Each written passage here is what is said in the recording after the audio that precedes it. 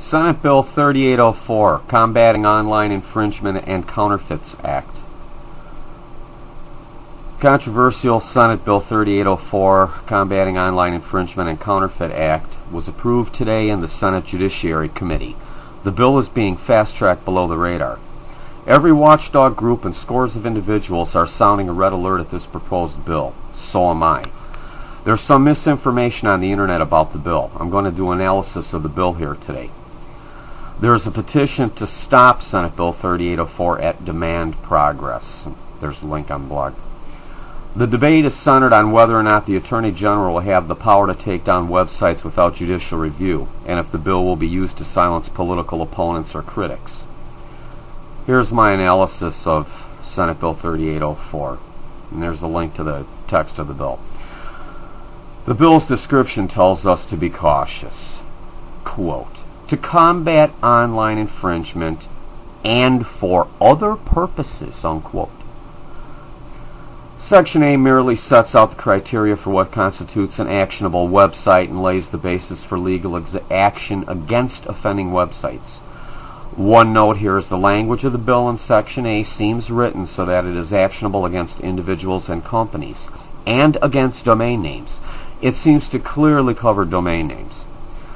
Section B sets out injunctions the Attorney General can apply for after filing an action. That's how the websites get turned off. Then the owner has to fight the federal government in court to get the site back on.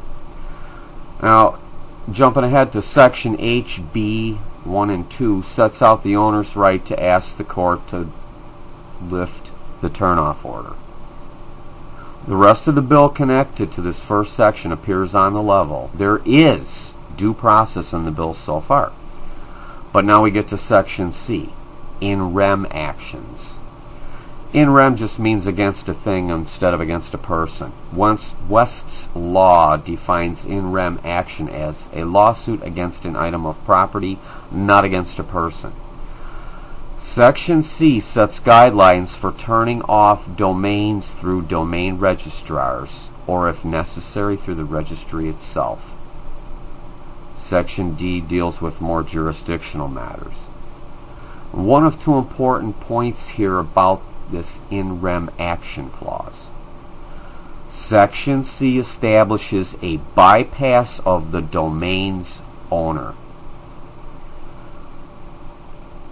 Section E, service of court order seems appropriate and harmless enough to our freedom at this point. However, take note of the last paragraph of E1. Upon receipt of such order, the domain name registrar or, or, domain name registry shall suspend operation of and lock the domain name. Section E2B sets out that not only do domain registrars or the registry have to turn off the domain upon being served with the court order, but the section goes on to mandate financial transaction providers to cut off the domain and it mandates any advertising services to stop ads from the domain. It's an effective website killer. Section E3 gives civil immunity to anyone receiving the order and carrying it out. Now we get to the heart of the threat. Section J is entitled Internet Sites Alleged by the Department of Justice to be Dedicated to Infringing Activities. Section J1 mandates that the Attorney General maintain a blacklist of sites determined by the Department of Justice, but which the Attorney General has not yet filed an action against. Section J2 states that if any registrar, registry, financial transaction provider, or advertising service described under Section E takes any of the actions specified there, against a domain name that appears on the list established under J1, the Department of Justice's blacklist, anyone who plays ball with them will receive the immunity protections described under Section E3. This is all under the language of Section J, which is the Department of Justice blacklist. So now we have an extra blacklist for the Attorney General provided by the Justice Department. Anyone who plays ball with the AG on killing a domain will be immune from civil liability. Here is the threat. The Justice Department list will be domains who haven't had action taken against them by the Attorney General. There is no requirement for the Attorney General to ever file an action against those domains on that Justice Department blacklist. Section J3 provides for domains to petition the Attorney General for removal from the list created in J1 and delegates setting those procedures to the Attorney General. But there is no provision for time limits on the Attorney General to rule on those petitions. There is a provision in section J4A that sets time limits for the domain owner to file for judicial review after denial of the petition. It's 90 days from receipt of the decision, or whatever other time limit the Attorney General sets.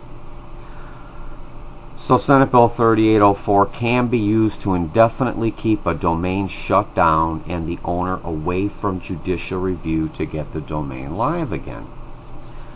As this law is written, there is a clear path to abuse present in the language of the bill.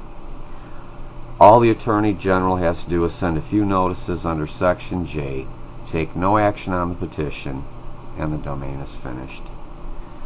The Attorney General could make the time limit for decisions on the petitions four years if he wanted to, by the language of the bill.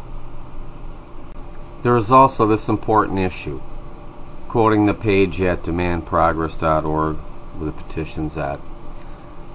It means sites like YouTube could get censored in the U.S. Copyright holders like Viacom argue that copyrighted material is central to activity of YouTube. But under current U.S. law, YouTube is perfectly legal as long as they take down copyrighted material when they're informed about it, which is why Viacom lost their case in court. If this bill passes, Viacom doesn't even need to prove YouTube is doing anything illegal. As long as they can persuade a court that enough other people are using it for copyright infringement, that's enough to get the whole site censored. Poorly written legislation or cleverly crafted scheme. The bill was proposed on September 20th, and right before the elections, the senators dropped the bill because of the public outcry. Now they're back to fast tracking it through before we can stop it at the very least, the bill should be done publicly so the people have time to analyze it and voice any objections before it's passed. Many laws have been created over the years as part of long range takeover objectives. Those laws were sold to we the people as having a specific purpose which wasn't objectionable to our rights, then later were revealed as tools for another purpose that deprived us of rights or caused us other harm. The National Security Act of 1947 is the prime example of that.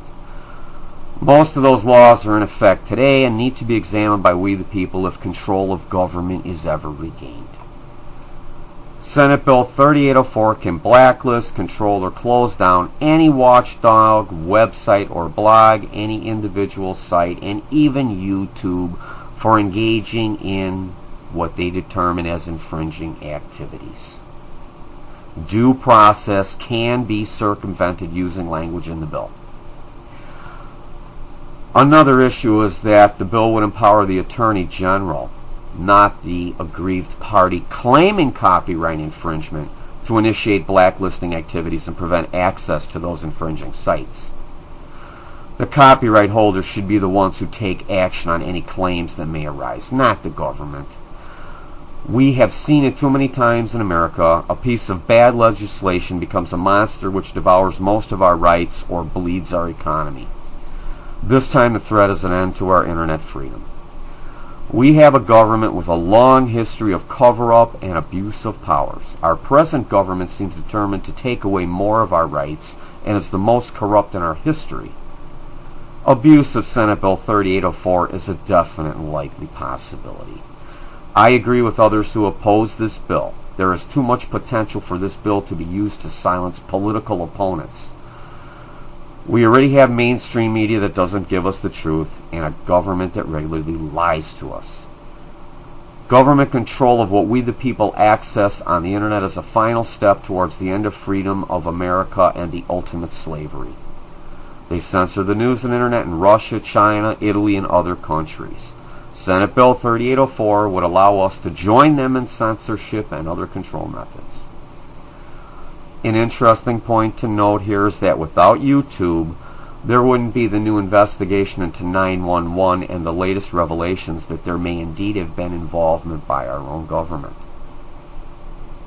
I've said before that there is a war on truth happening on the internet. If Senate Bill 3804 becomes law, it will herald the end of freedom in America. One more point is that there is money involved in this bill. The money trail always tells you a lot. You, you can see who got what for either their support or opposition to the bill by going to opencongress.org, and there's a link. A note that Senator Patrick Leahy, who authored this bill, has taken $159,000 to support the bill, and he's also taken $25,000 to oppose it. Something doesn't seem right about the author of a bill taking money to oppose it. Six Democrats, the top money getters for supporting the bill, are also taking money to oppose it. Here's the scorecard for those six Democrats. Howard Berman, Democrat, California. $178,400 to support, $23,600 to oppose. Barbara Boxer, Democrat, California. 164,574 to support, 31,940 to oppose. Patrick Leahy, Democrat, Vermont. 159,550 to support, 25,650 to oppose. Harry Reid, Democrat, Nevada. 109,550 to support, 41,800 to oppose. Charles Schumer, Democrat, New York. 108,900 to support, 50,900 to oppose. Kirsten Gillibrand, Democrat, New York. 105,900 to support, 38,500 to oppose. Now, with the exception of Gillibrand, these the top five Democrats have all been in Congress for a long time. That's, an important point to consider too. For those who think that us who are sounding a red alert at this proposed bill are alarmists, I'll give you one more thing to think about. Another one of the senators who supports this bill and has taken money is the illustrious Arlen Specter, $57,050 is what he took in. Arlen Specter was involved with the Warren Commission that investigated John F. Kennedy's assassination. On November 22, 1963, John F. Kennedy was assassinated in Dallas. Two days later, JFK's alleged assassin, Lee Harvey Oswald, was murdered by mafia figure Jack Ruby, and we the people have been lied to about the assassination ever since. The Warren Commission investigated the assassination.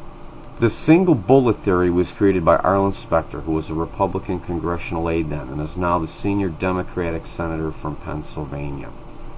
Specter has played a vital role in key events and policies himself over the years. Any legislation that Specter is involved in should be carefully examined